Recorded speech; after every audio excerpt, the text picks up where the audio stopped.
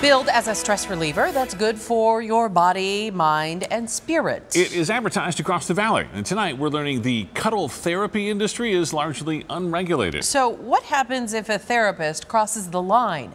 ABC 15's Zach Crenshaw with a warning for anyone thinking about giving it a try. If you search for cuddlers in the valley, you will find dozens of options on different websites, both men and women advertising their age, weight, sexual orientation, even if they have a passport.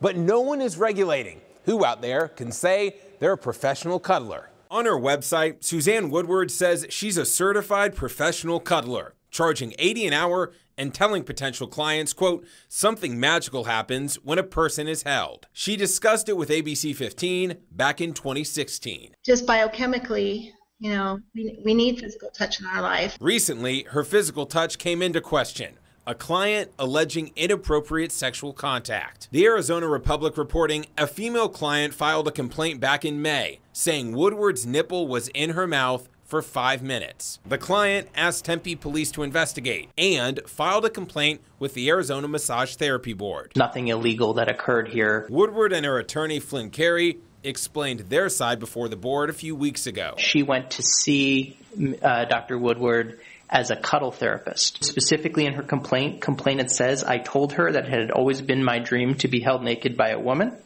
Police reached the same conclusion. Woodward was never arrested and still has her massage therapy license. We tried to talk to her at home and at her business. Both Woodward and her attorney never responded to calls, texts, or emails. The board ultimately concluded they do not regulate cuddling. We have no jurisdiction over this. That means if a line is crossed during the intimate business transaction, there's very little recourse for the victim, whether that's the client or the cuddler. Now, Woodward has hosted a number of cuddling parties at her home. Online, there appears to be one scheduled for this Sunday. Zach Crenshaw, ABC 15, Arizona.